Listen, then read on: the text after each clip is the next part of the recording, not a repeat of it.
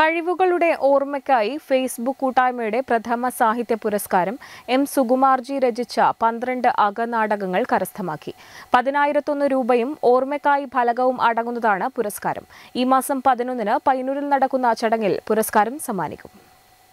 പതിനാല് വർഷമായി ഫേസ്ബുക്ക് കൂട്ടായ്മയായി പ്രവർത്തിച്ചു വരുന്ന കഴിവുകളുടെ ഓർമ്മയ്ക്കായി ഏർപ്പെടുത്തിയ പ്രഥമ സാഹിത്യ പുരസ്കാരത്തിന് എം സുകുമാർജി രചിച്ച പന്ത്രണ്ട് അകനാടകങ്ങൾ എന്ന പുസ്തകം അർഹമായി. മലയാളത്തിൽ പ്രസിദ്ധീകരിച്ച മൗലിക നാടക സാഹിത്യകൃതി എന്ന് വിലയിരുത്തിയാണ് പുസ്തകം പുരസ്കാരത്തിനായി തിരഞ്ഞെടുത്തത്. കൂട്ടായ്മ ഭാരവാഹികൾ എറണാകുളത്ത് നടത്തിയ വാർത്താ സമ്മേളനത്തിലാണ് പുരസ്കാരം പ്രഖ്യാപിച്ചത്. പതിനായിരത്തൊന്ന് രൂപയും ഓർമ്മയ്ക്കായി എന്ന ഫലകവും അടങ്ങുന്നതാണ് പുരസ്കാരം. രംഗവത്കരണത്തിന് വഴങ്ങാത്ത ജീവിത മുഹൂർത്തങ്ങൾ നാടകാവബോധത്തോടെ വായനയ്ക്ക് വേണ്ടി മാത്രം രചിക്കപ്പെട്ടതും ശുദ്ധനാടക സാഹിത്യരചനകളായി നിലനിൽക്കുന്നതുമായ പന്ത്രണ്ട് ലഘു അകനാടകങ്ങളുടെ സമാഹാരമാണ് കൃതി. മാതൃഭൂമി ബുക്സ് ആണ് പുസ്തകം പ്രസിദ്ധീകരിച്ചത്. ഇങ്ങനെയൊരു അവാർഡ് കിട്ടിയതിൽ വലിയ സന്തോഷമുണ്ട്.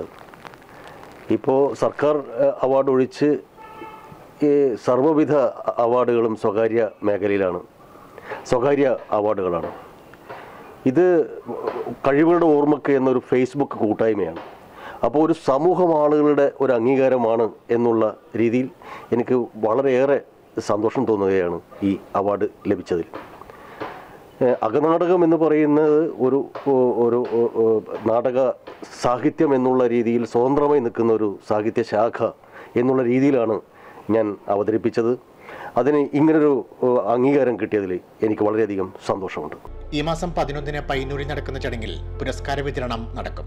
എടാട്ട് സ്വദേശിയായ സുകുമാർജി നെറ്റ്വർക്ക് ചാനലിൽ സംപ്രേഷണം ചെയ്യുന്ന പ്രതിരോധം പരിപാടിയുടെ സംവിധായകനാണ്. ചേതം സ്നേഹം ജീവിതത്തോട് പൂക്കൾ കൊണ്ടൊരു ഇതിഹാസം എന്നിവ രചനകളാണ്.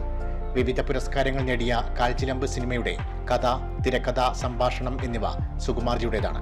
രണ്ടായിരത്തി പതിനാലിൽ പ്രണാമം ഫിലിംസ് നിർമ്മിച്ച കണ്ടെത്തൽ സിനിമയുടെ രചനയും സംവിധാനവും നിർവഹിച്ചതും സുകുമാർജിയാണ്.